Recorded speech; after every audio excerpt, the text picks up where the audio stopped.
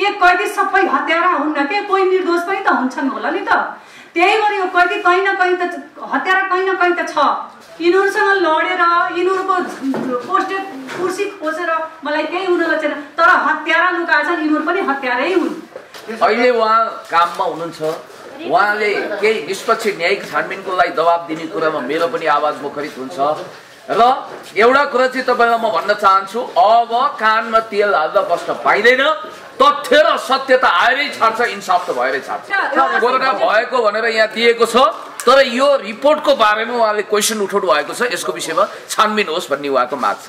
आखिरमा यदि body postmortem गर्छ भने कोरोनाको लागि किन राखेको थियो त? पहिले नै गर्न पर्थ्यो।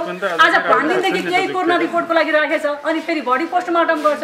यहाँ कति अल्छीको कुरा छ हेर्नु न तपाईँहरू। म त भन्छु पूर्व न्यायाधीशको नेतृत्वमा न्यायिक छानबिन समिति बन्नु भैरवामा तपाईँको उहाँ अहिले यो जेल फसेर मात्रै उहाँ जेल जीवन बिताएको हिसाबले पछि पर्नुभएको। यदि चुनाव लड्न जाने नि उहाँ चाहिँ सभासद खान सक्नुहुन्छ। तपाईँलाई सपोर्ट चाहिन्छ सर। यो पहुँच प- पुऱ्याउनुको लागि तपाईँहरूको सपोर्ट। किन भन्दा हिजो त छोरीले लास हेऱ्यो र त त्यस्तो हो कि भन्ने हामीले शङ्का गर्यो। नहेरेको भए त लास हेर्न पनि नपाउने। लगेर आर्मीले डिस्पोज गरेपछि सिद्धो घ- घटना छोरीले त मुख नहेऱ्यो भए त सिधै गइएन ल भन्नु त। यो यस्तो घटना अरू माथि नघटोस्। त्यही भएर मैले यो बाहिर निकाल्न खोजेको अरू केही पनि होइन। खतरनाक खुनी जल्लादी किसिमको हमला भएको हामीलाई शङ्का छ। त्यसको विषयमा तथ्य चाहिन्छ। वीर हस्पिटल सर्वसाधारणको उपचार गर्ने हस्पिटल। स्काइलाइट हेरेर बस्ने सम्पूर्ण समाधान दर्शकबिनहरूलाई म सरोज पौडेल तर्फबाट अभिवादन सहित नमस्कार। उठाउने पोस्टमार्टममा लग्ने। पोस्टमार्टम रिपोर्ट अब उहाँहरूको हातमा छ। अनि त्यसपछि बडी त उहाँको त अब अन्त्येष्टि गर्ने एकदम पोजिसन आत्मा पनि त हो नि त छट्किराखेको होला नि त। अब यदि म मैले मात्रै हामीहरूको त्यो के छ भने यस्तो यस्तो यो देशमा घटना घटेर छन् तपाईँहरू रोक्नु सबै मिलेर के? मेरो विचार मात्रै यही हो। नत्र हाम हामीहरूले यिनीहरूसँग लडेर यिनीहरूको पोस्टेड कुर्सी खोजेर मलाई केही हुन लचेन तर हत्यारा लुकाएछन् यिनीहरू पनि हत्यारै हुन्।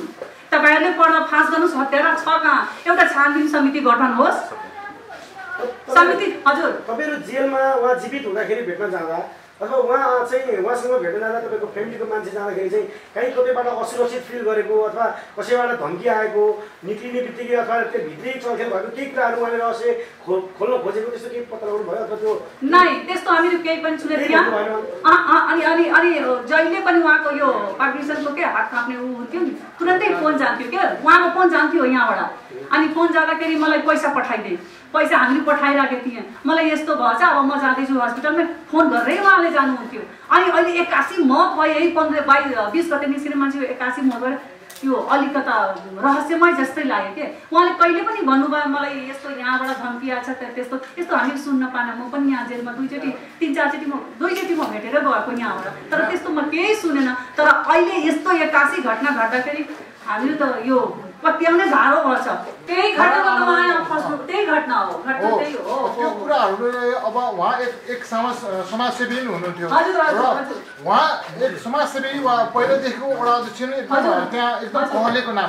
हुँदा हुँदैन के रिसिभीले चाहिँ वास्तवमा चाहिँ यो पुलिसको खेल हो कि या त्यहाँभित्रको कसैको मानिसको त्यहाँभित्र झगडा भएको यो अलिकति बुझाइदिनुहोस् के चाहिँ हो यो हो सर यही कहीँ न कहीँ हत्यारा छ सर यही कहीँ न कहीँ हत्यारा छ सर। यो हत्यारा उहाँलाई थाहा छ कहाँ छ भनेर। किनभने त्यो मान्छे त्यही यस्तो अवस्थामा जब हस्पिटल पुगेछ त्यो उहाँको जुन बडी गर्छ नि यही कहीँ वरिपरि छ सर। अब उहाँले के हो कसरी हो कहाँ छ किन उजागर गर्न खोजेको छैन? यदि मृत आत्मा थियो हस्पिटलले किन भर्ना गर्यो? भर्ना गरेर स्वाब किन निकाल्यो? अनि सास प्रश्वासको कारणले मास्क लगाइदिएछ टी सर्टमा किन पठाइ बन्डीमा पठाइ त्यसो अहिले के छ तर अस्ति चाहिँ डाइरेक्ट उहाँहरूको त्यहाँ गर्थ्यो जेलमा पोजिटिभ आइसकेछ तर हामीहरू पाएका थिएन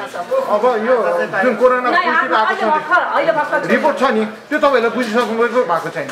कुन रिपोर्ट छ? त्यो पोजिटिभ भएको रिपोर्टहरू बुझिसक्नु अहिले। भर्खर छोरीले छोरीले अहिले भर्खर दियो। माग्दाखेरि अहिले भर्खर हस्पिटलले दिएछ। हिजो माग्दा हस्पिटलले दिएन के रिपोर्ट दिएन हिजो। हिजो दिएन डाइरेक्ट जेलमा जान्छ भनेर। सँगै सँगैको कुरा छ सर। शङ्काले लङ्का नजर कति कति भन्नाले कुन बेला दियो अहिले अहिले अहिले भर्खरै जब यो बुजुर्ग उठाउन लाग्यो नि त हामीले सोचे एउटा परमार्थ राखिहालौँ। अनि भर्खर उहाँले माग्दाखेरि उहाँले भर्खर अहिले रिपोर्ट दिनुपर्छ अहिलेको कुरा चाहिँ हो। कोरोना पोजिटिभ लेखिएको छ है। अब म त पढेन। ए छ वहीँ छ मोबाइलमा खिच्नुपर्छ त्यहाँ छ अब जे लेखे पनि जे गरे पनि अहिले उहाँ काममा हुनुहुन्छ। उहाँले केही निष्पक्ष न्यायिक छानबिनको लागि दबाब दिने कुरामा मेरो पनि आवाज मुखरित हुन्छ। र एउटा कुरा चाहिँ तपाईँलाई म भन्न चाहन्छु अब कानमा तेल हाल्दा बस्न पाइँदैन तथ्य र सत्यता आएरै छाड्छ इन्साफ त भएरै छाड्छ। तपाईँहरूको सहयोगले हामीहरू हिजो कम कामयाब भएछौँ यो काठमाडौँवासीहरू जनतालाई म मुरी मुरी धन्यवाद दिन चाहन्छु। यति जनता उर्लेर रिपोर्ट त्यहाँ। खिच्नुहोस्, म। सबैलाई धन्यवाद दिन्छु। यहाँको दिदी त्यहाँ छ दाजु भाइ सबैले जुन साथ दिनुभएको छ धेरै धेरै हृदयदेखि नै धन्यवाद दिन चाहन्छु। किनभने हामीहरू पीडित यहाँ सडकमा तपाईँहरूले त्यो सब चाहिँ कहाँ लानु भएको छ? हस्पिटलमै छ कि लगिसक्नु भयो अहिले हस्पिटलमै छ। अहिले हस्पिटलमै छ उहाँलाई त्यहाँ जाने मौका दिउँ। त्यो हस्पिटलमा जानु रिपोर्ट रिपोर्ट तपाईँले देखाइदिनु रिपोर्ट पोजिटिभ आएको र यो कोरोना पोजिटिभ भनेर यहाँ रिपोर्ट आएको छ। कोरोना भएको भनेर यहाँ दिएको छ। तर यो रिपोर्टको बारेमा उहाँले क्वेसन उठाउनु भएको छ यसको विषयमा छानबिन होस् भन्ने उहाँको माग छ। थ्याङ्क यू ल यो कोरोना अहिले अहिले माग्दाखेरि अहिले भर्खर यहाँ हामी शङ्का लङ्का के भन्ने डक्टरले भने पोजिटिभ छ तपाईँ यहाँबाट जानुहोस् आर्मीले लास्ट प्लास्टिकमा लग्छ त्यही पुग्नुहोस् आर्यघाटमा पुग्नुहोस् तपाईँहरू त्यही पाउनुहुन्छ सबै रिटर्न डकुमेन्ट चाहिँ त्यति। जानकारी छैन अनि उहाँले आज यस्तो बनाएर दिनुभएको छ हिजो चाहिँ उहाँले पोजिटिभ भन्नुभएको छ त्यही भएर म रिकर्डिङ गर्न खोज्छु भने उहाँले भाइले थाहा पाउनुहुन्छ पुलिसको बलमा पनि रिपोर्ट आइसकेपछि सबै उहाँहरूले लास्ट बुझेपछि मात्रै हुन्छ क्या त्यस्तो प्रक्रिया हुन्छ हस्पिटल अहिले यो बिरी हस्पिटलले प्रुफ गरिसकेको कोरोना पोजिटिभ भन्दा? भन्छ उसले। भन्छ कोरोना रोगी हो? वीर हस्पिटलको जानकारी। तर उहाँले यदि क्वेसन उठाउनु आखिरमा यदि बडी पोस्टमार्टम गर्छ भने कोरोनाको लागि किन राखेको थियो त? पहिले नै गर्न पर्थ्यो। आज पाँच दिनदेखि केही कोरोना रिपोर्टको लागि राखेछ अनि फेरि बडी पोस्टमार्टम गर्छ। यहाँ कति अल्छीको कुरा छ हेर्नु न तपाईँहरू नै आज आज चौथो दिन हामीहरू यो रिपोर्ट मौखिक थाहा पायौँ। त्यसो त तपाईँलाई सिसिटिभी फुटेज देखाउँछु भनेर जेलबाट पनि भनिरहँदा तपाईँहरू किन जानु भएन त्यहाँ होइन उहाँको परिवारले भयो छ अनि हिजो सोध्न जानुभएको थियो कसरी कसरी भयो छ उहाँले भन्नु थियो म देखाउँछु तपाईँलाई तर देखाउनु भएको छैन कोही गएछन् टाइम लिएर भएको छैनन् तर के होला अब उहाँहरूलाई थाहा हुन्छ। यस्तो ठुलो घटना घटाउन लुकाउन सक्छन् त यो यो यिनीहरूको यो फुटेजमा के भर गर्ने त? यहाँ त अब प्रहरी भन्दा पनि प्रहरीलाई हामीले देशभक्त रक्षक होस् पुलिस होइन पुलिस होस् भनेर कामना गरेका अब प्रहरी भन्दा पनि अदालतको केस बनेर न्यायिक निष्पक्ष। होइन सरकारले कहिले लङ्का जलाउँछ तर मैले कारागार व्यवस्था विभागको पूर्व महानिर्देशकसँग पनि यस्ता खालका घटना पहिला पनि भएका थिए कुनै समय भन्नुहुन्थ्यो र अहिले मिडिया कतिपय मिडियामा जिम्मेवार मिडियामा जो सरकार अथवा प्रहरी प्रशासनसँग पनि लगनगाँठो जोडिएको छ त्यस्तो मिडियाले तथ्य प्रमाणसहित ल्याएको कुरो छ त्यसकारण म भन्छु के हो भन्ने तथ्य दुधको दुध पानीको पानी छुट्याउने गरी अब म त भन्छु पूर्व न्यायाधीशको नेतृत्वमा न्यायिक छानबिन समिति बन्नु जे होस् इन्साफ हुनुपर्छ। न्यायिक इन्साफको लागि हामीले छानबिन आयोग गठन होस् भन्ने हाम्रो माग हो। एकदम राम्रो मान्छे हो उहाँ। चाहिँ हामीले उहाँ उहाँलाई यसरी बुझ्छौँ कि भगवान् जस्तै मान्छ अहिले पनि उहाँ भैरवामा। तपाईँको उहाँ अहिले जेल फसेर मात्रै उहाँ जेल जीवन बिताएको हिसाबले पछि पर्नुभएको हो। यदि चुनाव लड्न जाने नि उहाँ चाहिँ सभासद खान सक्नुहुन्छ अनि त्यहाँ व्यवस्थापन समितिको उहाँ सदस्य हुनुहुन्थ्यो अनि त्यहाँबाट स्टाफ स्टाफसँगको उहाँको अब त्यसमा साना साना त्यो उता गाउँतिरको के त्यो अलि यस्तो के चलपल गर्ने मनमुटाव। मनमुटाव त्यो केटाकेटी के त्यो केटा केटा। हिँड्छिन् अनि त्यो चकचके जस्तै अनि त्यसैमा त्यो के के उनीहरूले त्यहाँ घटना घटाएछन् अनि उहाँ चाहिँ नि घरमा अनि त्यसपछि तिनीहरूले कस्तो उहाँको जस्तो यस्तो भएछ नि त्यस्तै उनीहरूले के के अब त्यो गरिब घरको मान्छे अनि त्यस्तै त्यो उत- उतैको उसैको साथीहरू के उतैबाटको उसको गाउँकै अनि घटना घटेछ त्यो मरेछ। त्यो? त्यो स्टाफ स्टाफ। केटी हो त्यो? केटा थियो हो त्यो स्टाफ हो के त्यो तपाईँको तिस पैँतिस वर्षको होला मोटामोटी। के को हिसाब खास ओडाको? धर्मशालाको। धर्मशाला समिति जायसवाल समिति। हो अहिलेको आवाज त उठाइराखेको छ नि सर तपाईँले अहिले मृत्यु भइसकेपछि उठाउनु भयो नि आवाज उठाउनको लागि पनि तपाईँलाई सपोर्ट चाहिन्छ सर। यो पहुँच प- पुऱ्याउनको लागि तपाईँहरूको सपोर्ट यो सपोर्टले गर्दा त आज पाँच दिनदेखि यहाँ आवाज आवाज त उठाइरहेको छौँ अनि- हत्यारा कहाँ छ? आवाज त उठाइरहेको छ। अब अब त म मलाई पाउनु पर्यो नि त। अब यही थाहा हुन्छ नि त। यिनीहरूले खोजेर देखाउँछ नि। जेल जीवन बिताएर बाहिर आएपछि त उहाँ त फेरि सामाजिक रूपमा राजनीतिक रूपमा सक्रिय हुनुहुन्छ? हामी कोही होइन। मेरो चाहिँ उहाँ चाहिँ एउटा चिनेको? मात्रै हो। मेरो कोही पनि होइन उहाँ है। तर उहाँ मलाई लाग्छ तपाईँ हामीले उहाँको जीवनी हेर्नुपर्छ भैरवमा गएर उहाँ उठ्ने भने पर सभासद खाने मान्छे। त्यस्तो टाठो मान्छे हो। समाजसेवी मान्छे हो। एउटा राजनीतिक एउटा उसले पनि उहाँलाई चाहिँ मलाई लाग्छ त्यस्तरी चाहिँ उहाँलाई जेलभित्र चाहिँ एउटा हत्या गरेर एउटा कोरोनाको उसमा चाहिँ उहाँलाई गर्न खोजेको हो कि भन्ने चाहिँ हाम्रो बुझाइ हो कि? नै नै उहाँलाई भइरहेर जानुहोस् उहाँ सब रोएको छ? कहिले काहीँ सर तपाईँको राम्रो काम गर्दाखेरि पनि चाहिँ आक्षेप लाएर अध्यक्ष एउटा जिम्मेवारी व्यक्ति भएको हुनाले उहाँलाई फसाइएको। कमजोर केही थियो कि उहाँको?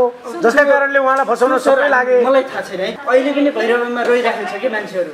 न्यायको लागि उहाँको लागि। के गर्नुभएको थियो उहाँले? जसको कारण उहाँ त्यति धेरै पपुलर अथवा त्यति उहाँ नै चाहिने के काम गर्नुभएको राम्रो थियो उहाँ वडा अध्यक्ष हुँदाखेरि सबैलाई सहयोग गर्नुभयो दुखीहरूलाई। यथार्थ मान्छे हो होइन? हिजो वडा अध्यक्ष जित्नुभयो मलाई लाग्छ यो राजनीतिकरणले नै उहाँलाई चाहिँ अहिले पनि चाहिँ गायब गराइएको हो कि भन्ने मेरो बुझाइ हो कि? मेरो व्यक्तिगत बुझाइ हो आफू दोषी ठहरेर जो जेलभित्र जानुहुन्छ तपाईँ केही गर्न सक्नुहुन्न। भोलि जेल जीवन बिताएर बाहिर आएर ऊ सक्रिय भयो भने भोलि म पछि पर्छु भन्ने पनि हुनसक्छ राजनीतिक दौपे उहाँ गएर उठ्यो भने अहिले सभासद पनि खानुहुन्थ्यो उहाँ। त्यति ट्यालेन्ट मान्छे उहाँ। त्यस्तो ट्यालेन्ट मान्छे हो कि? तर मलाई त्यो के कारणले फसाइयो के कारणले गर्न मलाई त थाहा छैन सर है। किन भन्दा हिजो त्यो छोरीले लास हेऱ्यो र त त्यस्तो हो कि भन्ने हामीले शङ्का गऱ्यो नहेरेको भए त लास हेर्न पनि नपाउने लगेर आर्मीले डिस्पोज गरेपछि सिद्धो ग- घटना छोरीले त मुख नहेऱ्यो भए त सिधै गइएन ल भन्नु त। गइएन ल भन्नु त।